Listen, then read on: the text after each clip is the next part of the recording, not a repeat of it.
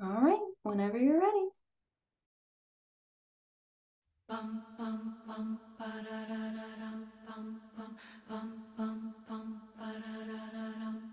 When I wake up, yeah, I know I'm gonna be, I'm gonna be the one who wakes up next to you.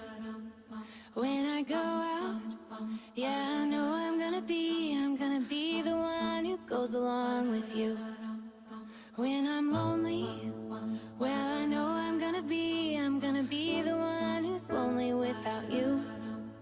When I'm dreaming, well, I know I'm gonna dream, I'm gonna dream about the time when I'm with you.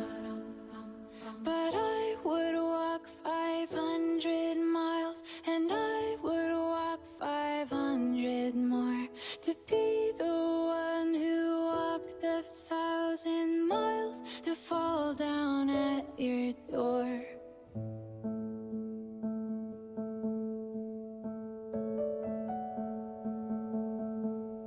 When I'm working, yes, I know I'm gonna be, I'm gonna be the one who's working hard for you. When the money comes in for the work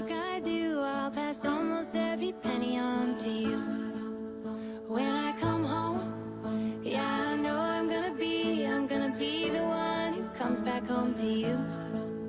And if I grow old, well, I know I'm gonna be, I'm gonna be the one who's growing old with you.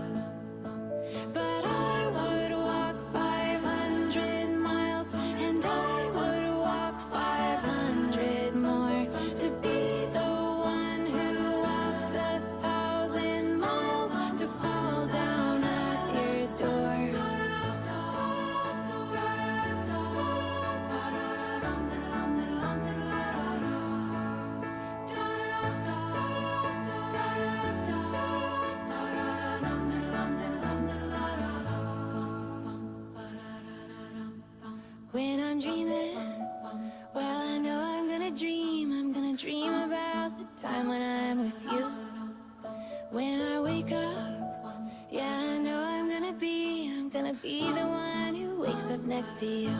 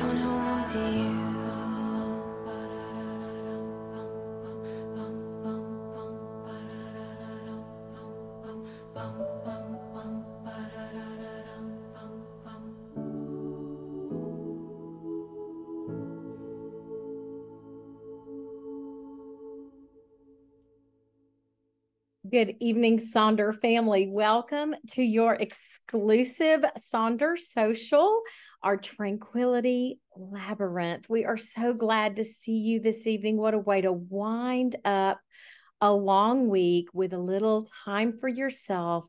Um, you know, leaning into tranquility, walking a labyrinth, and uh, just taking time for your self care and your wellness. Bailey and I would like to welcome you this evening. My name is Jennifer Ogilvy, and I'm coming to you from the Dallas, Texas area. Now, you should have received an email that will have a link to print um, your own Labyrinth. No worries. If you did not get it, you will still be able to do a Labyrinth practice by just using the screen that you're on. Um, I when we when we actually do the Labyrinth meditation, um, I will hold the screen on a Labyrinth, so you'll be able to do that then.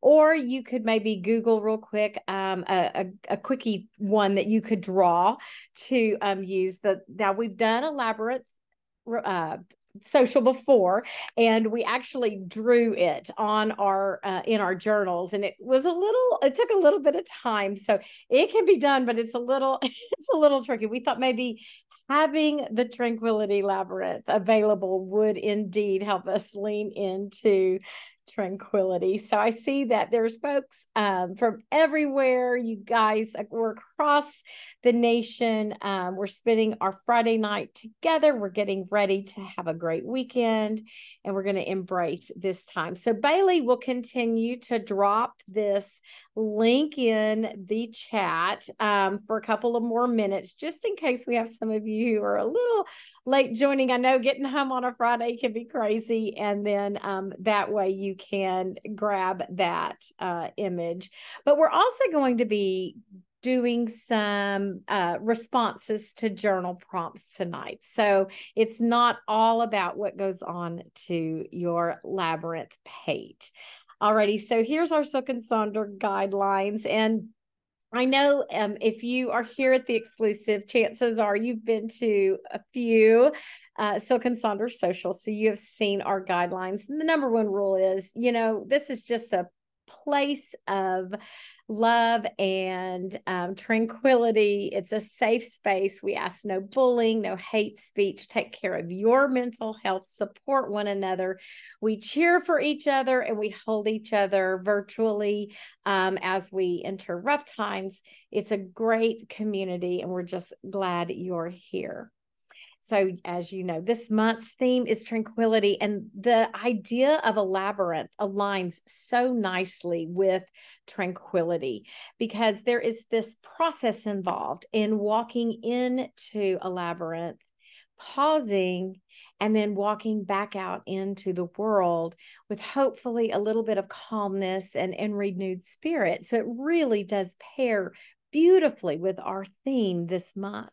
So, this evening, we're going to be um, doing a few things together. We're going to have an opening reflection. We're going to talk a little bit about the history of the labyrinth and why why why are we doing this what makes a labyrinth so special um, we're going to in- interact with your own labyrinth take some time for reflection and then we're going to practice a labyrinth ritual together and then I have a closing for you to take with you if you want to expand upon your labyrinth experience.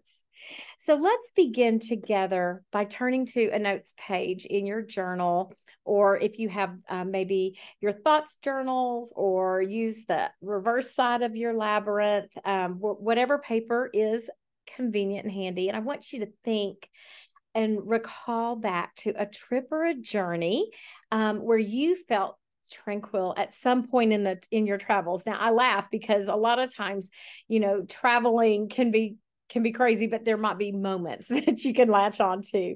I was thinking about the most recent trip i took and it was my kids and grandkids and and it was more chaotic than tranquil but there were moments of tranquility that um, i can recall um, I want you to think about as you're writing, describe the destination, what you did to get ready, your journey, and the experiences you had.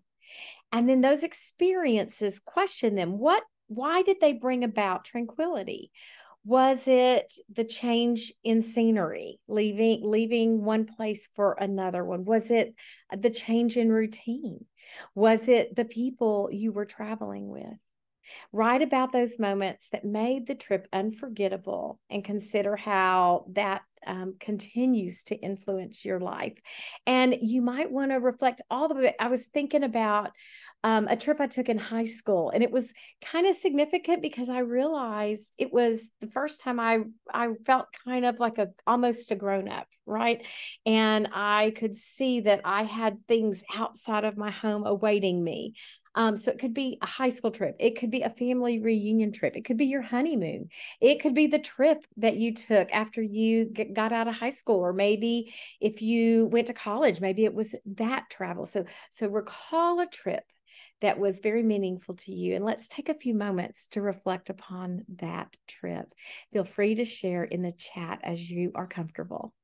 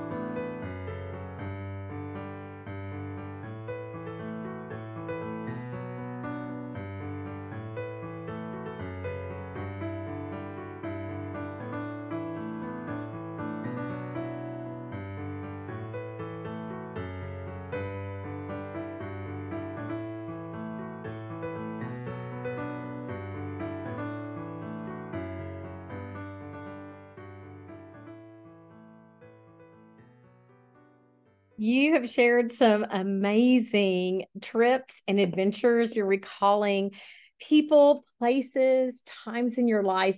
Beautiful. I, I grabbed on some words that I wanted to be sure that I just kind of called out. I, I saw things like adventure, um, picture perfect, solitude, quiet, family, uh, magical, moving at my own pace, disconnecting, peace, uninterrupted time, all mm-hmm. those things that come from these powerful trips that if we stop to reflect, we can recall and hopefully we can capture some of those feelings as we lean into a labyrinth practice and and an experience of that journey in our souls so let's um, now carry carry on i do want to introduce your labyrinth tonight. Um, this labyrinth is called a chartreuse labyrinth, and it is um, one that is in. Um, oh goodness, my my mind went blank. Somebody, if you if you've been there and walked it, let me know. Drop it in the chat. It's it's very ancient. It's in a um, cathedral, and um, wow, we can't walk it physically we can walk it with our finger yes in france yeah that it's a french pronunciation i should have known that thank you um and so we're going to actually be walking that this is a finger labyrinth and it is a way to practice the labyrinth mindfulness without having to actually be at a labyrinth um, so labyrinths have been around for a long, long time. And I think it's important to kind of talk about like these are some um, very old labyrinths that have been discovered. And um, the uh you can see I've got three up here on our on our slide. The first one that you see is from kind of the northwest part of Iberia and they're thinking probably um, from the Atlantic Bronze Age. So very, very old. The one in the middle that was discovered in Greece, and the one on the right is um, displaying what's called a classical design. Um, it's a seven course classical design, and it was discovered in Knossos um, at, in around 400, dated to 400 BC. So we know that people have been using the labyrinth as a type of meditation for years and years and years. This meandering path that takes you on a journey and um, we can benefit from following in the footsteps of those who went before us. Um, it, labyrinths can bring about meditation uh, relaxation creativity or even f- just plain old fun and and we actually have a labyrinth at a church in the dallas area and i know someone who works there and i was able to take my little grandson and he ran this labyrinth and it was amazing. It was such a great experience uh, for him. Oh the church is north haven and it is in dallas Northaven in dallas and they have a labyrinth labyrinth garden. And yes lyric i was just going to say that there is a you can just google like labyrinth locator and they will show you where they are all over um, and lots of hospitals will have them public parks and churches. Um, so so cool so cool to to look up. Um, and then there's the labyrinths that you can um, just do at home. And I was sharing with Bailey, I actually traced the labyrinth on a on a window um, onto some fabric and I embroidered a little labyrinth path and I, I can't find it because I hid it. It's for my grandson for Christmas because he loves the labyrinth and it calms him. And so um, I kind of did it. It looks sort of like the one over there on the upper right, but you can make simple labyrinths. You see the ones in the upper middle or the kind of the middle top section. That that's just like a glued colored one yarn. And then you, there's ways to add texture. You there you can buy labyrinths. They really are a great calming tool. Additionally, I discovered this the last time we did a labyrinth. This is an app called Labyrinth Journey, and you can put it on your iPad or your um, cell phone and your tablet. And um, what it does is when you trace it with your finger, it actually lights up, and you can see I partially did um, the one that's over there on the far right, and it just follows your trail. And then when you get to the middle, it, it's um, it just kind of explodes with these soft, gentle little fun things. And um, there's soft music playing, and it is a very good centering. If you, you know, if you're sitting waiting on something, it's a good way to sit down and just kind of center yourself in that moment. So um, that's kind of cool. So now you guys have seen mazes before just a reminder that a labyrinth is not a maze because as you notice in the maze there are these dead ends um they're they're blind dead ends you just kind of walk around and you, there's a way in and a way out and it's meant to trick you that is not what a labyrinth is a labyrinth it can look like a maze. Um, however, they don't have blind passages or wrong turns or dead ends. Um, in other words, they're not made to frustrate you like mazes are kind of made to frustrate you. It's a single winding, unobstructed path and it goes from the outside you enter you wind you get to the center and then you go back out again. So the decisions of which way to go have been made for you and then that allows you to focus on contemplation rather than navigation.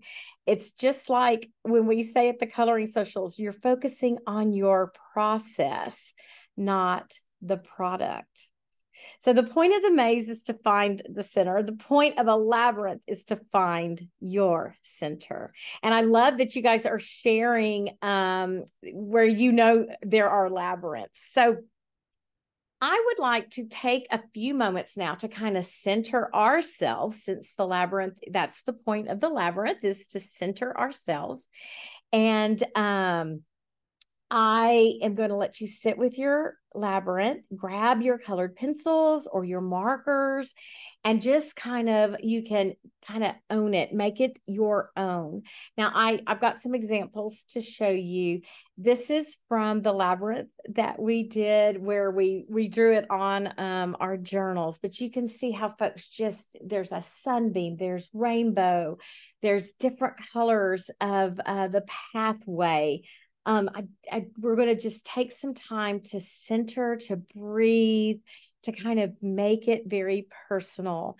And as you do this, this is going to get us ready for the rest of our labyrinth journey. Now, these are some quotes that I pulled just about those journeys in life that you might want to add to your labyrinth.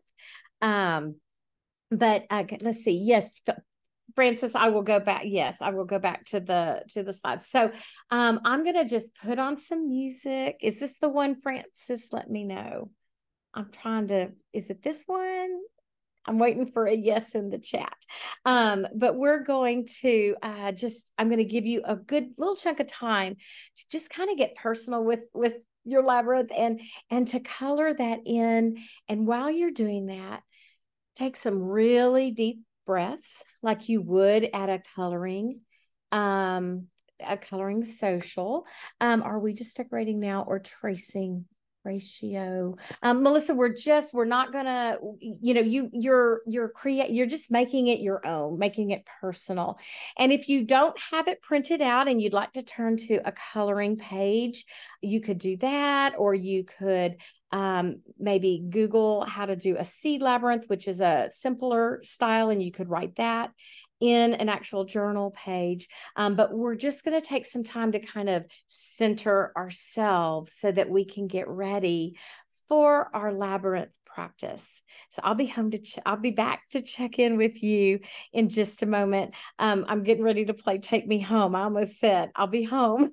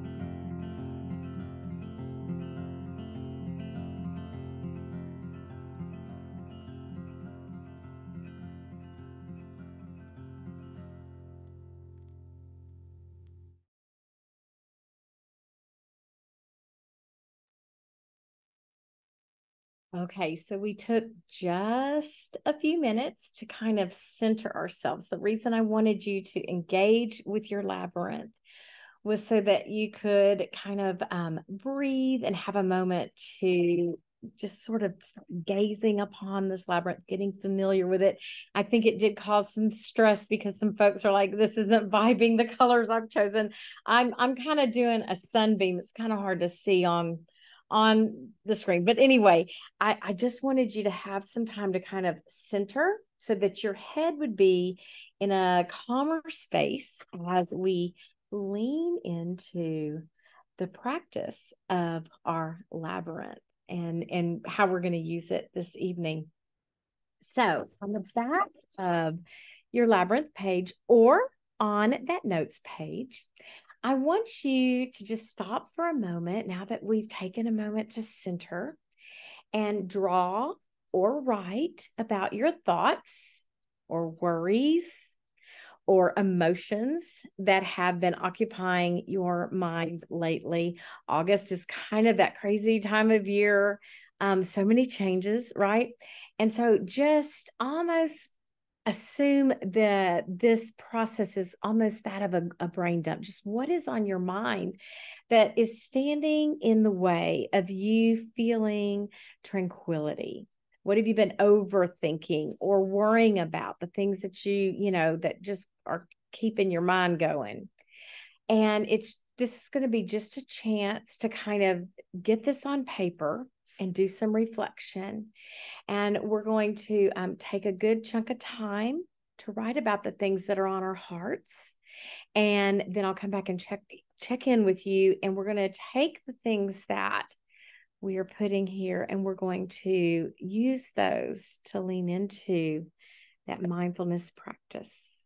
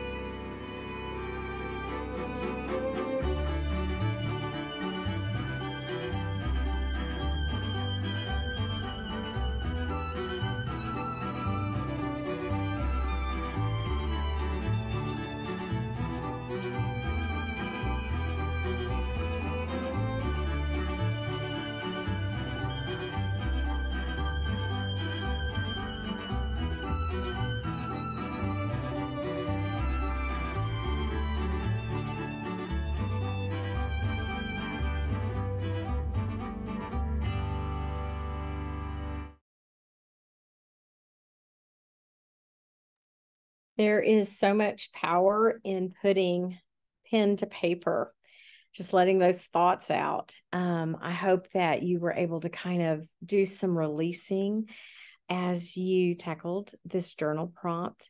Um, sometimes it can be really tough to get get deep with with things that are going on our, in our lives that that just aren't serving us or that we don't know what to do or we don't know that we have any choice in the matter. So I want to um, encourage you now to just stop for a second and we're going to um, do our labyrinth practice, but we're going to talk about it first and kind of do it together. And then I'm going to put on some music for you to take these burdens, these issues, these things that are on your mind, and walk your labyrinth and release. So, the first step in using a finger labyrinth, or really any labyrinth, but when on our finger labyrinth is is called the release step. That's the first part. So, what you're going to do is, I'm going to again ask you to, um, oh, yes, Tina, I'll just say this. Um, Tina asked to Bailey and myself if she can use the recording later. Yes all of you will get a link to this recording because it is um, an exclusive. It won't be on the regular YouTube link, but you will have access to that. So that's a great question. Um, so I want you to just sit quietly, still yourself. Hopefully, we've had that time to do so. Take some deep breaths as you begin to enter the labyrinth. And then you're going to take your non dominant hand. So if you're right handed, you're going to use your left hand, get your pointer finger. The reason we use our non dominant hand is that it helps us really focus on our walk, our literal walk on that paper, um, because we have to, you know, kind of plug into that, make our our brain sort of fire a different way. It allows us to pay more attention to the journey. So you use your non-dominant hand, your pointer finger, it might feel awkward at first. Um, and and also if this is your first experience with a labyrinth it could feel awkward. I'm going to encourage you to do it a lot until it becomes something that that brings you that comfort helps you with that settling and that mindfulness. Anytime you do something new it can feel a little funny right? And and so i'm going to encourage you to to try this more than just tonight all right, so then you put your finger from the non dominant hand at the entrance of the labyrinth, and you're just going to slowly trace your finger through the labyrinth, working toward the center. This is called the release part of the labyrinth. The next step in our labyrinth is receiving. So as you navigate, you're going to just through that time, you're releasing, you're becoming aware of your breathing. You are hopefully relaxing and moving at your own slow pace. There's nothing to rush through. When you get to the center, it is a place of pause, of reflection. Just stay there, hang out there as long as you need to you walk to that center of the labyrinth and then you rest and you receive. And then when you're ready, the third part is our return. And we will slowly, again, with the non dominant hand, return through our path. We go back out into the world. So each labyrinth is different. Hopefully, you were able to work on yours to really make it your own, to own it. And um, you may feel nothing this time around, or you may be quieted enough to have some things pop in your head. Um, listen to your body, take the time that you need. This is a very personal experience.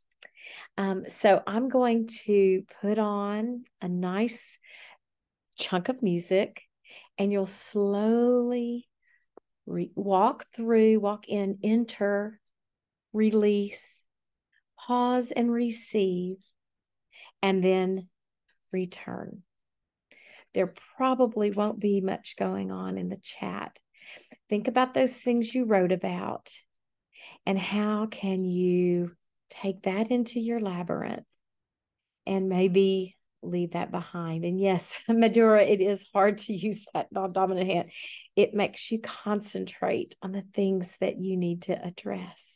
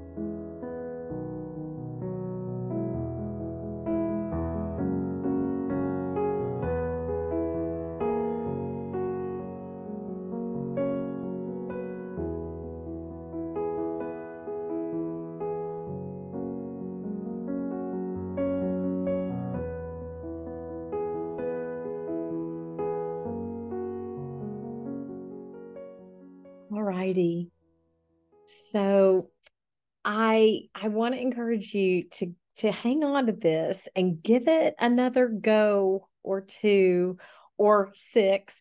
And and there's been some comments yes it's very different when you physically walk a big labyrinth right? Your whole body's moving. It does take some concentration. India was laughing. She said i've started over six times. Is that okay? Isn't isn't that like life? That's what's so beautiful about this is that the labyrinth really is reflective of the path that we take and we may have to start over. You never made it to the center. I bet you will india. You'll have to tell me in sonder club. I made it. I made it.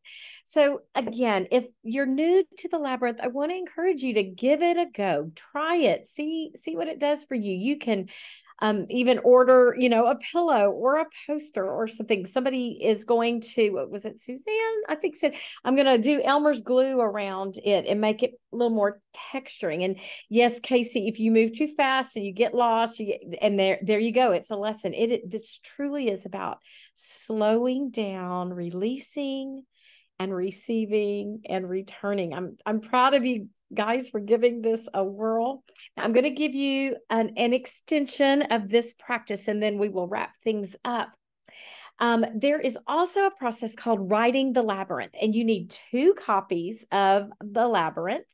And the first one you title Writing In, and the second one you title Writing Out. And so, if you have a problem or an issue or something that's just on your heart and you're trying to figure out a solution, you do exactly what you did today with your finger, except you start writing and you begin at the entrance and you just write about whatever it is that's in your head or on your heart.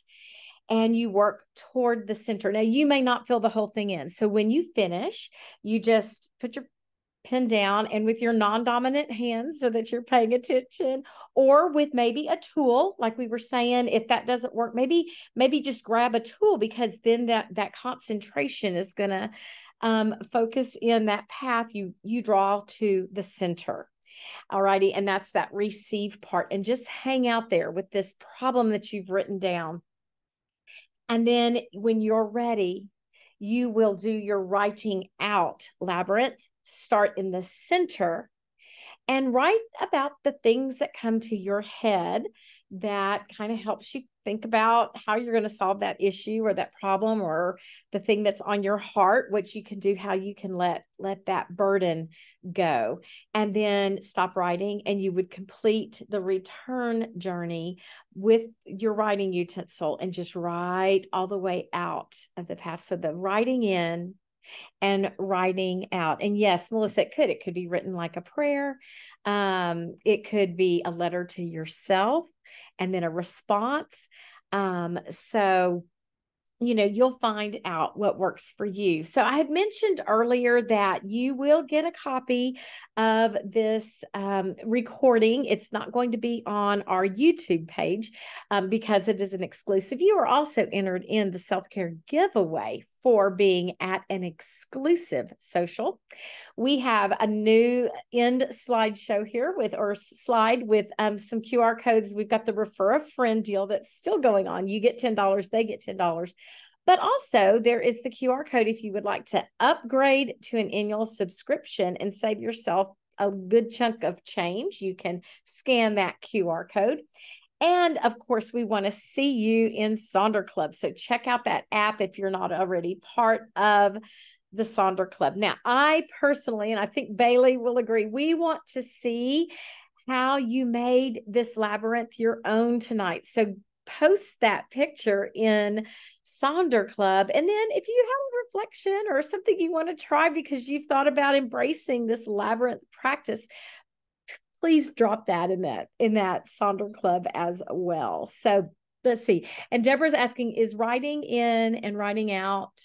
Let's see. I'm sorry. Writing in and uh, writing in writing about the problem and writing out the solutions. Yes that's exactly what it is. Or you or the ideas you have. I'll i can hold these slides while we exit our time together. I'm so proud of you for carving at this time on a friday night. I want to encourage you to give this labyrinth idea a go. Maybe try it on your phone.